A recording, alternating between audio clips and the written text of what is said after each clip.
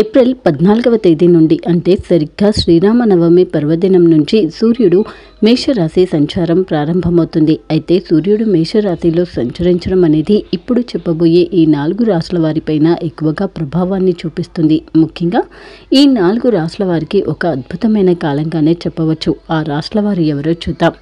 గ్రహాలకి అధిపతి గ్రహరాజుగా పేరున్నటువంటి రవి ఈ ఏప్రిల్ పద్నాలుగవ తేదీ నుంచి మేషరాశిలో సంచరించుతూ ఉన్నాడు. ముఖ్యంగా ఈ గ్రహం మేషరాశిలో సంచరించడం అనేది ఉచ్చ స్థితిలో ఉండడం అని అర్థం.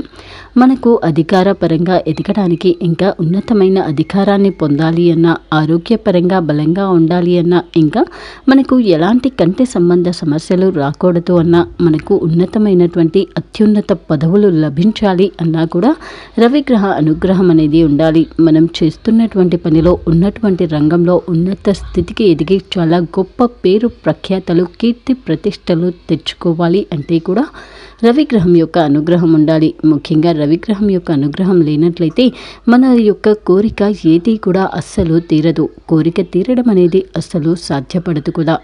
అనుకున్నటువంటి పనులు కూడా పూర్తి కాకుండా ఉంటాయి. అలాగే మనం ఎవరైనా ఎవరికైనా సహాయం చేసినా కానీ ఏ పేరు ఊరు లేకుండా ఉంటుంది.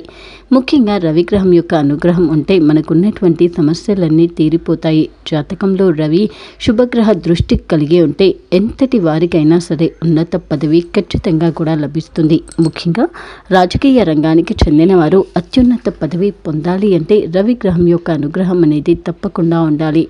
రవిగ్రహం యొక్క అనుగ్రహం ఉంటేనే మనకు అన్ని ఆదాయ మార్గాలు ఇంకా ఆదాయపరంగా ఉన్నటువంటి సమస్యలన్నీ కూడా తీరిపోతాయి. ఆర్థిక పరంగా ఎదుగుతాము. అనేకమైన అద్భుతమైన అవకాశాలను అందుకుంటాము. అందుకే రవిగ్రహం యొక్క అనుగ్రహం అనేది మన జాతకంలో ఎప్పుడూ కూడా శుభగ్రహ దృష్టిగా ఉండాలి. గణపతి హోమాన్ని చేయించినట్లయితే మన జాతకంలో రవిగ్రహ పరంగా ఉన్నటువంటి దుష్ట శక్తులు రవిగ్రహ పరంగా ఉన్నటువంటి ప్రతికూల శక్తుల యొక్క తీవ్రత తగ్గుతుంది. అలాగే ఉన్నటువంటి సమస్యలకు పరిష్కారాన్ని పొందగలుగుతాము. అయితే ఈ ఏప్రిల్ పద్నాలుగవ తేదీ రోజు నుంచి రవిగ్రహం మీనరాశి సంచారం ముగిసి మేషరాశి సంచారం అనేది ప్రారంభమవుతుంది. ముఖ్యంగా సూర్యుడు మేషరాశి సంచారం అనేది ఇప్పుడు చెప్పబోయే ఈ నాలుగు రాష్ట్రాల వారిపైన తీవ్ర ప్రభావాన్ని చూపిస్తుంది. వీరి జీవితంలో మంచి మార్పులు రాబోతున్నాయి. అయితే ఆ రాష్ట్ర వారు ఎవరు ఇప్పుడు చూద్దాం. అందులో ముందుగా మేషరాశి.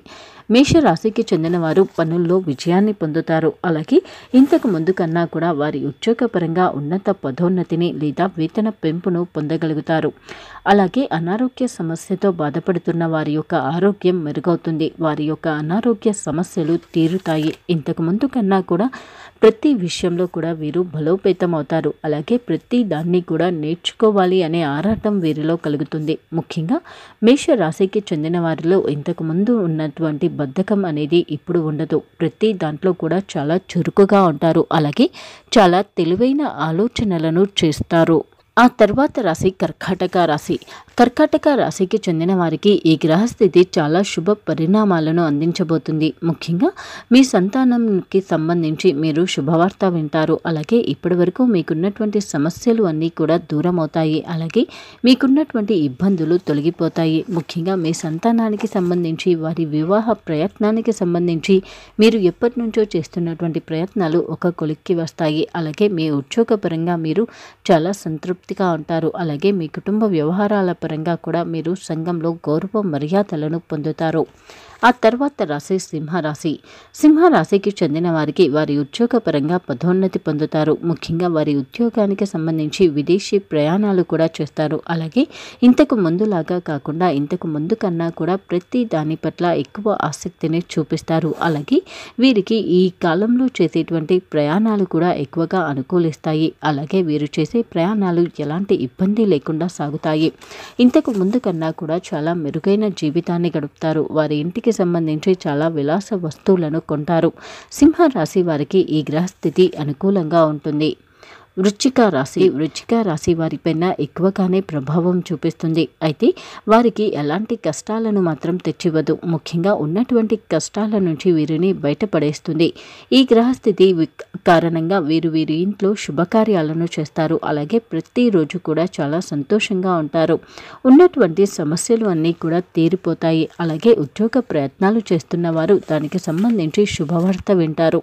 వారు అనుకున్న దానికన్నా చాలా మెరుగైన ఉద్యోగాన్ని పొందుతారు. ముఖ్యంగా వృచ్చిక రాశికి చెందిన రాజకీయ రంగానికి చెందిన వారికి ఇది మిగతా రాశుల వారికన్నా కూడా చాలా అనుకూల కాలంగా చెప్పవచ్చు.